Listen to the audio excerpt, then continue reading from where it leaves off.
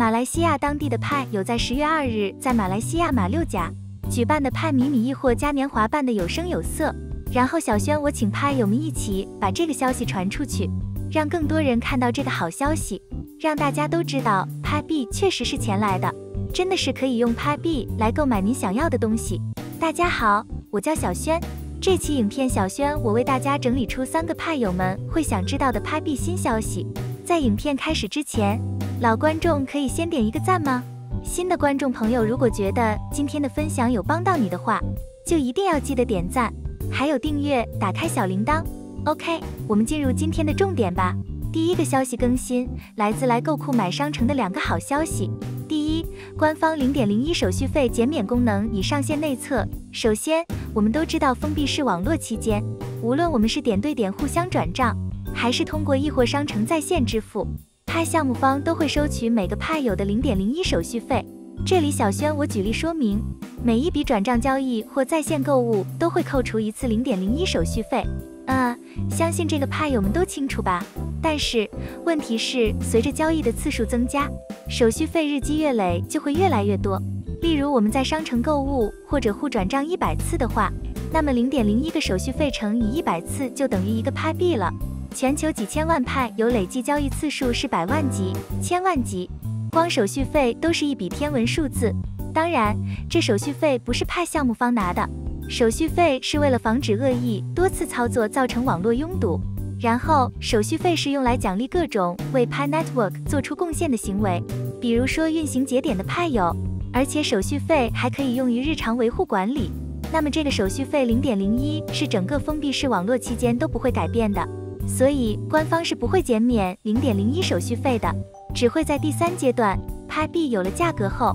手续费才会逐渐在慢慢调整，但是来购库买开发出一项新功能，让普通派有买家直接受益，那就是官方手续费零点零一减免新功能。那么我们如何去使用这个官方手续费零点零一减免功能呢？派友们可以充值拍币到来购库买商城钱包中，例如我们想充值十个派币到商城，就只需支付一次零点零一手续费，而不会扣除累计十次的零点零一手续费。这个可以帮助我们节省大量手续费，充值的拍币余额可以用来购买商品或服务。那么这个余额充值功能正式推出之后，确实可以帮助全球数百万的派友减免无数次官方手续费。当然，目前在线充值余额的这个功能，只有退款买家和部分管理员才有内测权限。如果来购库买商城开发的这个出减免官方手续费的功能成功的话，那将能够让全球派友们受益。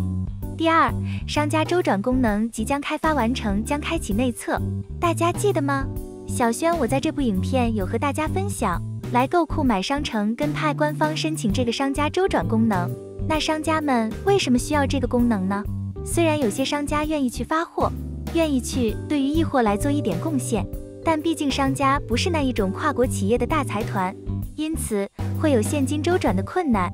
所以对于这部分的商家，尤其是信誉良好、很热情投入的商家们，是不是要让他们有这种弹性的周转变现的方式？那么来购库买这边说，商家周转功能即将开发完成，将开启内测。小轩，我相信如果这个功能完成的话，一定会有更多的人愿意去投入，更多元的商品会出现。那么我们就敬请期待呗。然后这个功能应该会在十月份之内，可以提供给派友们跟商家们使用。那目前来购库买商城在准备商家周转功能，买家减免零点零一手续费和商城积分兑换功能。但是这些功能的详情，来购库买不能提前透露，要避免被模仿，因为任何技术都可复制模仿，构思功能逻辑原创才是最关键。所以商城会在正式公测时候才宣布功能的玩法。第二个消息更新，更新尼古拉斯博士在斯坦福大学讲座的消息。在前天的视频小轩，我已经和大家分享关于尼古拉斯和范成雕博士在斯坦福大学开的讲座。那么有些派友就希望小轩我可以说更多关于这次讲座的内容。可是这个讲座不是以公开的形式去向大家发放，目前小轩我也还没有看到有人将任何的视频放到网络上去。本来前天小轩我在想，等有更多的的消息出来后，然后再去给大家做进一步的报道。但是这个讲座完了之后，就没有更多的消息出来，但是我们不知道在后期会不会有更多关于这次讲座的信息给传出来，所以我只能说从我目前能收集到的信息来给大家做一个总结。首先，上次跟大家说了，这一次 Pi Network 最主要就是招兵买马，希望能够招聘到工程师。那么这张照片我们可以看到，派项目方在斯坦福学校开设的一个接待的前台，然后斯坦福学校的学生或者派有与派技术团队和营销人员交谈时所拍摄的场景，然后这是派项目方印的一个传单，这里有加入派挖矿的二维码和邀请码。那目前我们能够了解到的一个信息就是，这个讲座是针对于斯坦福大学校内的学生开放的，所以说这个讲座的内容很大可能不会进行的开放，也不会在网络上面公开。其二，相信这张图片是讲座结束后，有些学生可能有一些疑问或者有一些问题就留下来，与尼古拉斯博士和范成雕博士交谈。因为从图片的座位来看的话，基本上人已经离开了。然后我们可以看到投影布幕这里是展示加入派核心团队，意思就是说尼古拉斯博士跟学生们介绍完派 Network 了。如果学生有兴趣的话，可以电邮给官方申请加入派核心团队。第三，虽然尼古拉斯博士和范成雕博士戴着口罩，但是从他们的表情上面可以看得出来比较喜悦的。和以往在视频上发布的那个状态完全不一样，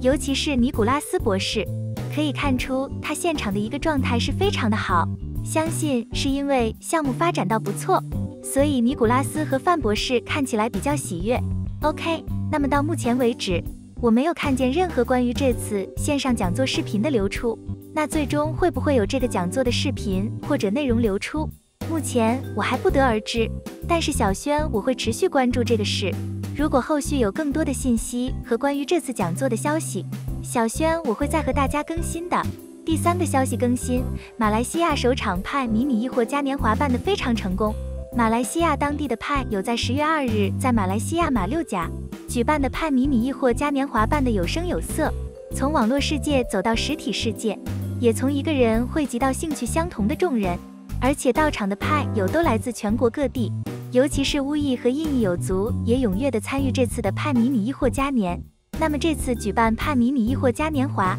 除了让大家可以使用派币来易货，其实里面的意义非常重大。第一，推动马来西亚派友对派的认知；第二，让更多群众了解派 Network 是什么；第三，让派友学习进行交易步骤。另外，在场有一些资深的派友，也协助了不少派友解决各种技术上的问题。那么，小轩，我希望中国、台湾、香港、新加坡等等的国家和地区的派友们，也可以搞一个这样的线下活动，让更多的派友聚集在一起，让社区更强大。然后，小轩，我非常感谢这次派迷你易货嘉年华的这些为派赋能的商家，也非常感激所有参与的商家以及幕后的工作人员，因为他们都是义务，有些派友甚至出钱又出力的为派赋能。因为有大家，马来西亚首届派易货迷你嘉年华才能在有些不完美中的完美中落幕。另外，小轩，我希望大家可以一起把这个消息传出去，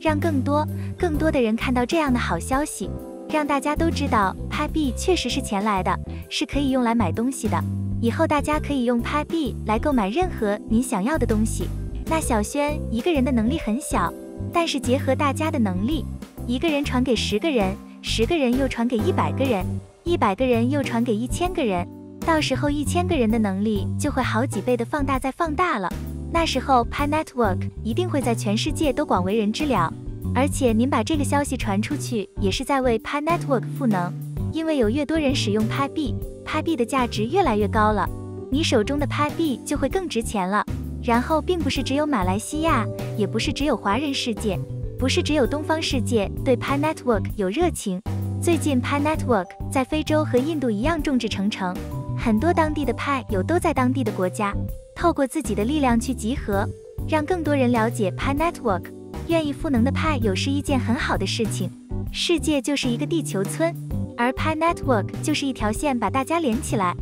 最后，小轩我在这里和大家透露一点，前天项目方在斯坦福小学的线下活动结束后。晚上的十一点到凌晨两点，派项目方多名创始人与来购库买商城团队成员进行了一场网络视频会议。那这个内容我们下一期视频再讨论呗。OK，今天影片就分享到这里了，我是小轩，谢谢大家的支持哟，我们下一个视频再见，拜拜。